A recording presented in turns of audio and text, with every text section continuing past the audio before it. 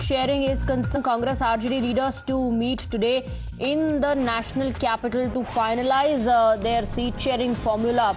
The meeting is supposed to take place uh, at 11 today. This is regarding the seat sharing formula and can be uh, the last meeting before the formal announcement of seat sharing for the state of Bihar. So, an important meeting between the Congress and the RJD leaders today in the national capital. We're given to understand that the meeting will take place at around 11, and this perhaps is going to be the final meeting in which a stamp of approval probably will be given by both the parties, post which uh, the announcement would be made uh, as far as Bihar is concerned. So all eyes would be on this very, very crucial meeting as the Lok Sabha election nears. All parties, of course, in a huddle trying to finalize their list of candidates, trying to finalize uh, uh, the seat sharing formula with their allies. So the campaigning can also begin.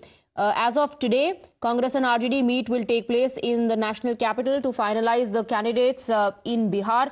We have uh, Niyamika getting us more details. Niyamika, so we're given to understand this could be the last meeting, and uh, perhaps after this, the announcement will be made.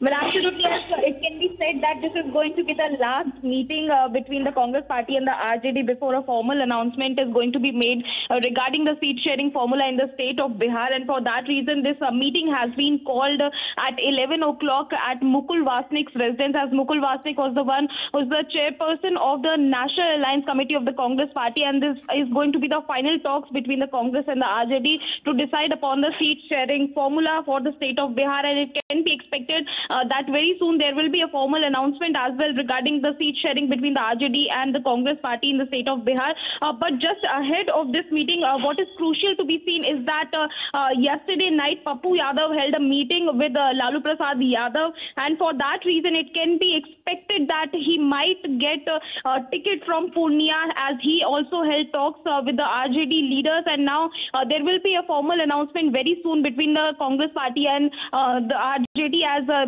just ahead of this meeting, Pappu Yadav held a meeting uh, with uh, Tejashwi Yadav and Lalu Prasad Yadav. So we can expect this also that Purnia seat will be given to Pappu Yadav to contest in the upcoming Lok Sabha elections. On the other hand, we have also seen that how the Congress party was adamant to get at least 10 seats in the state of Bihar, but it can be expected that uh, uh, uh, that it can get nine seats at least to contest in the upcoming Lok Sabha elections. Nine seats can be given to the Congress party, but which are going to be these seats are going to be crucial because uh, some of the seats uh, uh, there was no consensus which was getting uh, made uh, between the RJD and the Congress party. Uh, there were several leaders who were raising questions about the RJD's decision for not giving those particular seats, which also includes Katihar and other seats as well. And for that reason, today, um, um, last meeting is going to be taken place in the national capital at 11 o'clock, in which a final decision is going to be made.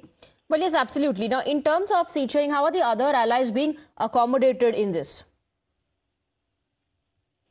Well, as per the latest information uh, which we are getting, RJD can contest on 28 seats, Congress can contest on 9 seats, and uh, 3 seats can be given to the left parties. But it will be seen in the upcoming days that what is going to be the strategy for the other allies partners, as well as uh, we have also got to know from our sources that uh, after announcing uh, his resignation from the cabinet minister's position, Pashupati Paras is also in mm. talks with the India alliance whether it would be accepted on the part of RJD and Congress to uh, form an alliance with Pashupati Paras to give any seat to Pashupati Paras or not. If that would be a chance, then the seat sharing formula can be changed. But as of now, what the information which we are getting from our sources is that uh, the final uh, uh formula will be of RJD to contest on 28 seats, Congress on 9 seats, and 3 seats can be given to the left party.